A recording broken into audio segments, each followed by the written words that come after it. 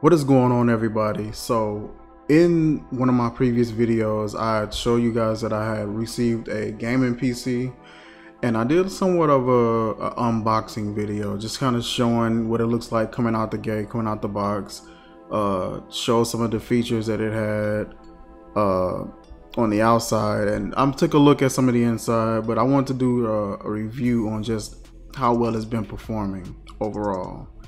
So here is the video here of me sort of taking a look at the computer out of the box and plugging it in and uh, just seeing the dimensions of it, seeing the materials made from, seeing the tempered glass and the nice smooth metal black finish, you know, of course the fancy fancy pans, RGB lighting and all that. Um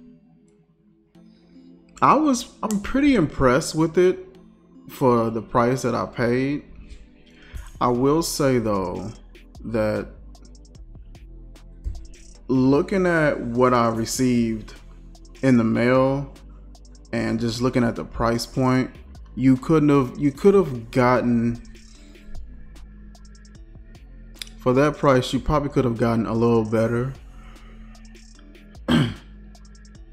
for what we have, we could have paid maybe two or three hundred, and that would have been good.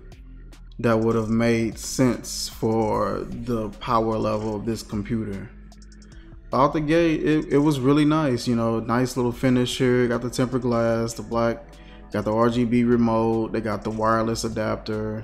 Uh, I mean, it, I couldn't really complain that much for how much I paid. For most gaming PCs, that are reliable and dependable, you're coming off at least, I'll say at the bare minimum, eight, nine. You know, you got some guys that are able to build computers and they know where to get the right parts and things like that, but it, I'm taking a look at the inside of it here you know, I just didn't have that, and I just needed my computer. My previous one had just stopped working altogether, so I needed something, um, and I couldn't go without anything. Here you can see me taking a look inside the computer, seeing the RGB. You see the ATX Mini uh, motherboard there. Got a little bit of RGB cable going along the bottom. Again, the remote, the power supply cord. That's the front panel. It doesn't have any optic drive.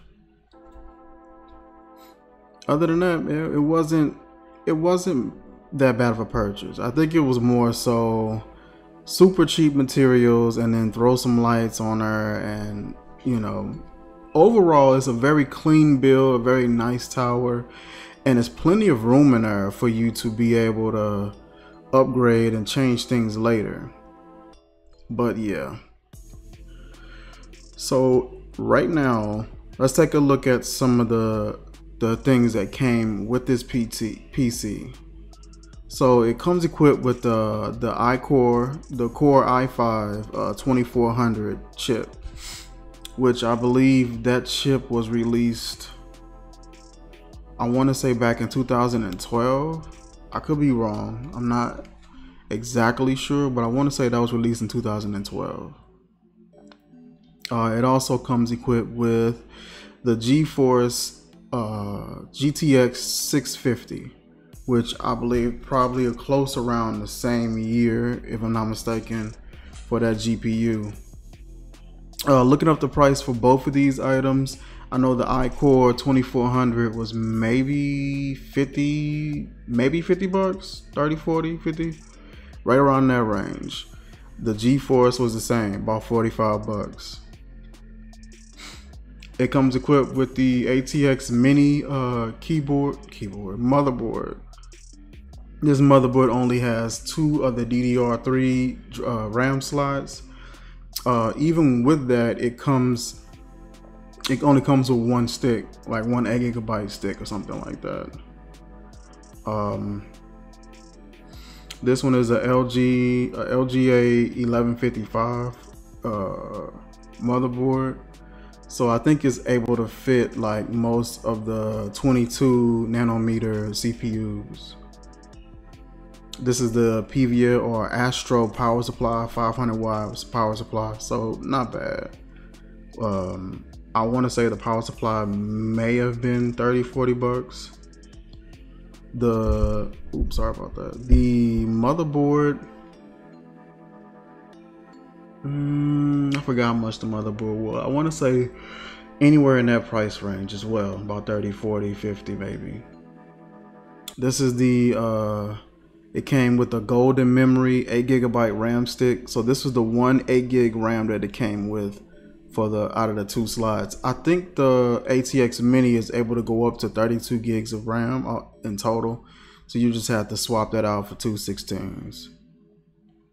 And that's mainly, you know, what it came equipped with. Of course, it came with uh, the RGB fans and everything like that. But that those are the main components that it came equipped with. All this, if you were to purchase all of this, and maybe buy yourself a $150 or maybe $200 tower, you're coming off maybe two or 300 bucks, you know, all together for this. And me, I paid 450 because I needed a PC and everywhere that I was looking, either they had, only thing they had was $1,200 PCs or you know, really hardcore gaming PCs that I just didn't have the money to afford at the moment. I just needed something that would work, that I could run my OBS through, that I can do what I'm doing now, record my videos, edit my videos, run my drawing and my, my art software, uh, do some music editing, stuff like that. It's just basic stuff that I needed. And I didn't necessarily need a monster computer to do. I game every here and there. Um, and it would be nice to be able to game and not deal with lag so lag is a definite issue i deal with with using this particular cord uh cord this particular graphics card this, uh, the gtx 650 using that particular card card um it is is dated um i updated the driver to the game ready driver yesterday so it runs a bit smoother uh, also been using ShadowPlay, which isn't so taxing on the CPU.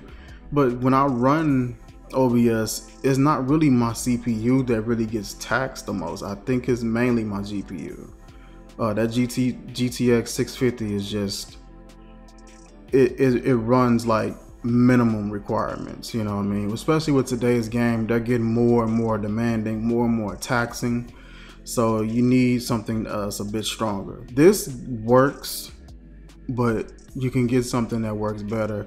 And honestly, there are some out there that works ton times better than this that don't cost that much more.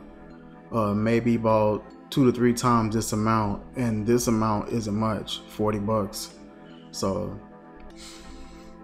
uh, I would play Hitman 2 uh, it will play pretty clear for the most part, but when I'm doing something pretty intense, uh, where button button response is pretty heavy, uh, it gets it gets a little it gets a little laggy.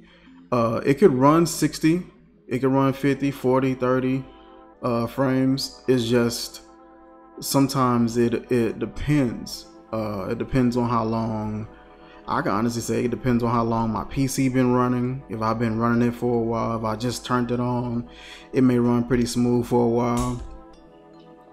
Um, but it runs probably the most stable at I'll say between 50 and 60 frames per second. But it, it hasn't not lagged on many of my my playing sessions at all um, playing NBA 2K19 because I'm too cheap to buy 20 and I just I just ain't buying it. Stupid. Um, uh, when I play that, that game is it's pretty taxing, you know, so far as everybody's moving, so much information that has to account for, uh, so many things happening in the background. So I needed something that's going to be able to run that game a bit smoother and the GTX 650 it can run pretty decently but it's not something that I would lean on um but yeah other than that great great PC, great build, great spacing on the inside. Everything's laid out really simple, so it'd be easy to upgrade.